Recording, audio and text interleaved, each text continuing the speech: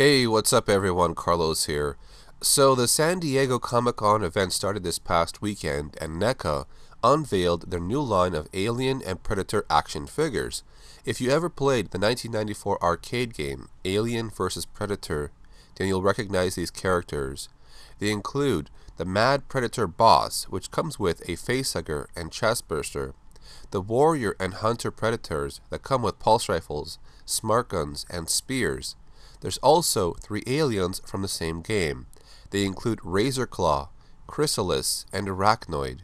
Each figure is around 9 inches tall, with bendable tails, and up to 30 points of articulation. Now if you're wondering about the release date for these figures, they should be available around January of 2018. Now, I think these are pretty cool, and I like the Mad Predator figure the most. It's nice that they brought these characters as figures because they were very unique in terms of design, and they only appeared in this game, which never saw a console or PC release. And that's probably because the AVP license has gone to different owners over the past 20 years. And even though Capcom did make this game, I don't see them porting it anytime soon.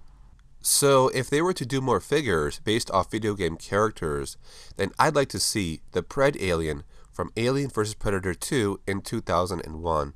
This one was different from the one featured in the AVP Requiem movie. It had a more fleshy body, not that hard exoskeleton. The colors and markings were also different. I'd also like to see the Ancient Predator from AVP 2's Primal Hunt expansion. That Predator had different types of armor plating on the body. It also had a gold color, and also it had ridges on the helmet and armor. That one looked pretty cool. So that's it for the news on this topic. Thanks for watching and stay tuned for more videos around the Predator universe. I'll see you in the next video.